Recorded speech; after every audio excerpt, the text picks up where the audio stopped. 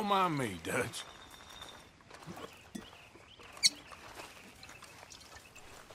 Hey, old man. John.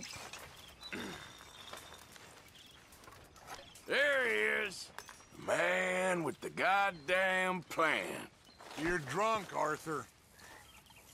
Sean, Just calm down. Is that your idea of a sense of humor? Except, you don't actually have one.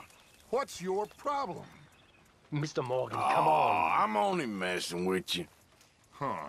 I really worry about your sanity. You always was a good actor. Done with you. Ungrateful bastard.